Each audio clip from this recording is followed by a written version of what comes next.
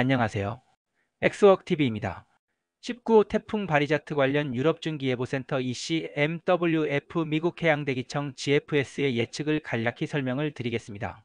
구독과 좋아요, 알람 설정을 꼭 부탁드리겠습니다. 먼저 유럽중기예보센터의 예측입니다.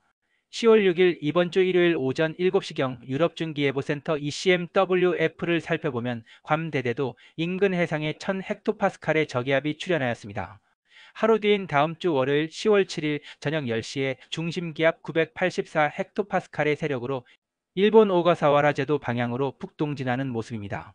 10월 9일 다음 주 수요일 오전 8시경 저기압은 중심기압 974 헥토파스칼의 19호 태풍 바리자트로 발달하여 일본으로 북상하는 모습입니다. 10월 11일 다음 주 금요일 오전 8시경 19호 태풍 바리자트는 중심기압 958 헥토파스칼의 강력한 세력으로 일본 도쿄 먼바다를 지나가는 모습입니다. 10월 12일 토요일 저녁 11시 무렵 19호 태풍 바리자트는 태평양 먼바다로 사라져가는 모습인데요. 유럽중기예보센터의 시뮬레이션을 살펴보면 다음 주 금요일 10월 11일 오전에 도쿄 먼 해상에서 태풍이 서진할지 아니면 동진하여 태평양 먼 바다로 갈지가 결정될 것으로 보여지기 때문에 다음 주 금요일 무렵에 일본 오가사와 라 제도 인근 해상의 기상 상황이 매우 중요할 것으로 판단됩니다. 태풍이 이때 서진하면 한국이나 중국으로 갈 수도 있습니다. 다음은 미국 해양대기청 GFS의 19호 태풍 바리자트에 대한 예측입니다.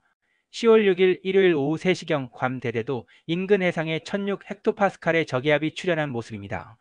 저기압은 계속 북동진하여 일본 오가사와라 제도 인근 해상에 도달한 모습이 보이며 10월 10일 목요일 새벽 3시경에는 중심기압 968 헥토파스칼의 강력한 19호 태풍 바리자트로 발달한 모습입니다. 미국 해양대기청 역시 유럽 중기예보센터와 마찬가지로 다음 주 목요일과 금요일 사이에 19호 태풍 바리자트의 일본 오가사와라 제도 인근 해상의 기상 상황이 매우 중요하겠습니다. 여기에서 서진하느냐 동진하느냐에 따라서 태풍이 한국과 중국으로 올 지의 여부가 결정될 것으로 보여집니다.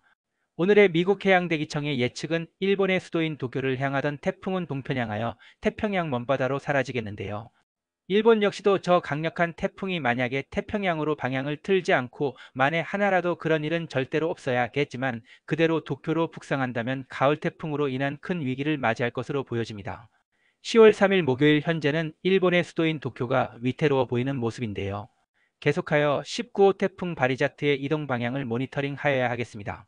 시청해주셔서 진심으로 감사드리겠습니다. 구독과 좋아요, 알람 설정을 꼭 부탁드리겠습니다. 이 채널을 운영하는 데 큰 힘이 됩니다. 감사드립니다.